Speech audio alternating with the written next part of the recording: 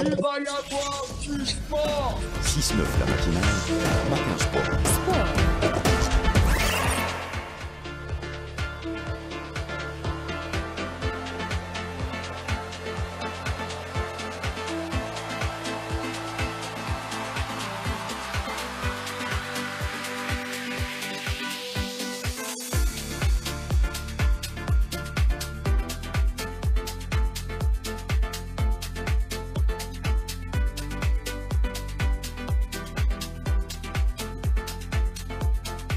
Il est 7h16 minutes et c'est l'heure de Matin Sport avec vous Ali Hamouche. Bonjour Ali. Bonjour Fatima. On commence avec du football. La 22e journée du championnat de Ligue 1 débute aujourd'hui avec une belle affiche. Et ça sera le Shabab Riyadi de Bilouizdad qui accueillera l'entente de Sétif. Ça sera à partir de 22h au stade du 5 juillet. Le Shabab Riyadi de Bilouizdad qui occupe la troisième place au classement en compagnie de l'USM Alger, donc euh, qui affrontera l'entente de Sétif, cinquième au classement. Un point sépare les deux clubs. Donc ça sera le premier match euh, de cette 22e journée du championnat de Ligue 1.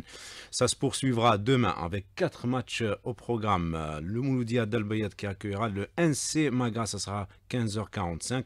Et le leader du championnat, le Mouloudia d'Alger, qui jouera face à l'US Souf. Ça sera en soirée à partir de 22h. Et à la même heure, l'US Biskra qui accueillera la JS Kabylie et l'AS qui sera face à la JS Saoura.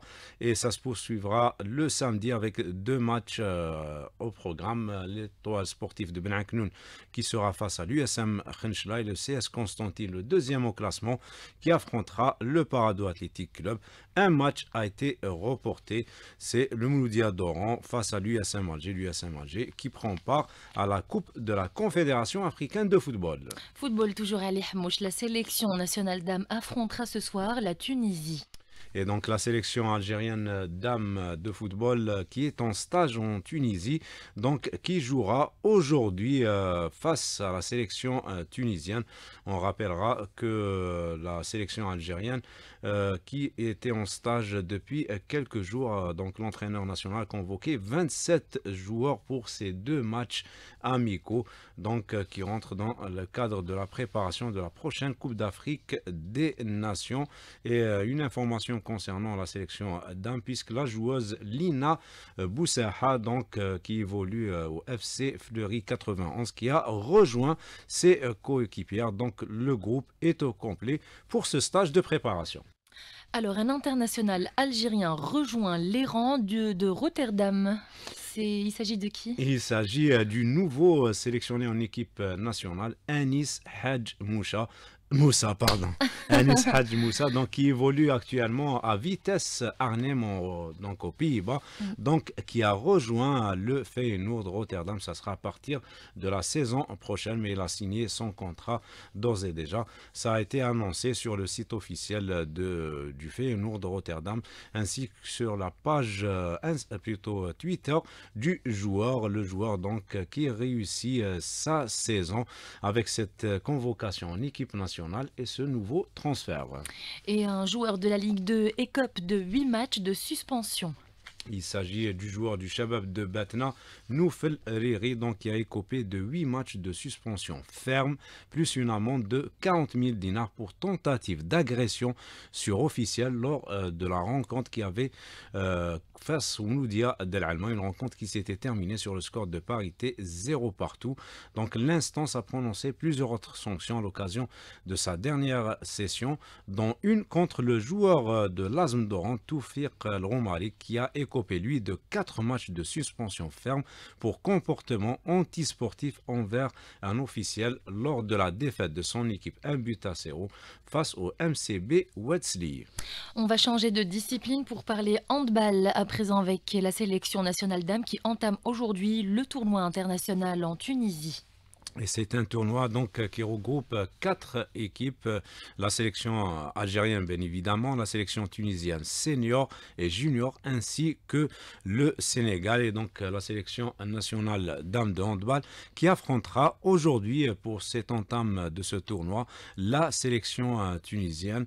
Donc les Algériens qui se trouvent depuis quelques jours en Tunisie pour préparer, pour effectuer ce stage qui se déroule plus exactement à Et on va parler de football en Europe. Absolument, Fatima. Hier, il y avait des rencontres qui se sont euh, jouées. C'était particulièrement euh, la coupe qui était à l'honneur. On va commencer, euh, on va aller en France où le Paris Saint-Germain donc qui a battu Rennes un but à zéro. Rennes où évolue l'international algérien Amin Gouiri. Donc Paris Saint-Germain qui se qualifie pour la finale et qui rejoint Lyon. Lyon où évolue un autre international algérien. Il s'agit de Saïd Barrahma. Et en Allemagne aussi, on a joué pour le compte des demi-finales de la Coupe d'Allemagne avec la qualification du Bayern Leverkusen face au Fortuna Düsseldorf, donc euh, sur le score de 4 buts à 0. Et avant-hier, la formation de Kaiserslautern qui a battu Saarbrück 2 buts à 0. Donc la finale aura lieu le 25 mai au stade olympique de Berlin entre Kaiserslautern qui évolue en Ligue euh, Division 2 face au leader de la Bundesliga, le Bayern Leverkusen. Également en Italie, c'était la Coupe euh, d'Italie avec les matchs allés euh, pour le compte des demi-finales et la Juventus de Turin victorieuse 2 buts à 0 de la Lazio de Rome alors que la Fiorentina a battu l'Atalanta Bergame 1 but à 0. C'était une victoire très très difficile.